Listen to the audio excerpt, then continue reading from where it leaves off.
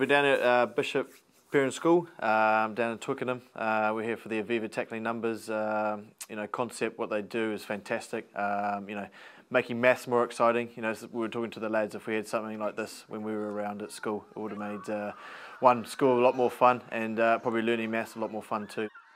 Our season so far has been a little bit inconsistent, a little bit frustrating. We're still in the hunt. I think there's only about six to eight points separate third to where we are down in eighth. Um, you know, our biggest problem has just been consistency. Uh, we, you know, we put in a good performance one week and the next week we let ourselves down, and you know, we're giving cheap points away. You know, we're, we're chasing games, giving teams six, nine, 12 uh, points, and uh, you know, we haven't been quite accurate enough in what we've been putting on the field. And yeah, we need to kind of step it up. It's as simple as that.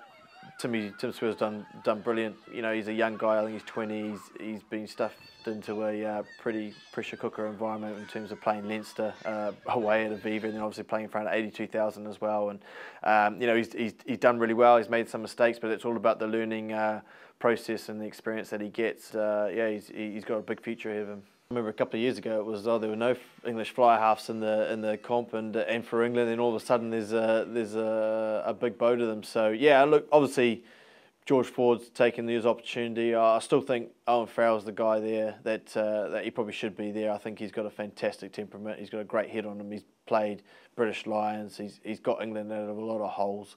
Um, maybe they look at him at playing 12 uh, you know Ford and Farrell. uh, it's probably not the most uh, intimidating 10-12 combination in the world, but if you put Manu there, if he's fit there, it looks pretty good. But yeah, no, George is George is doing fantastic. He's a young kid as well. He's got a lot. He's got a lot more to learn, um, and he's. Uh, but as long as he keeps playing well, he'll be brilliant.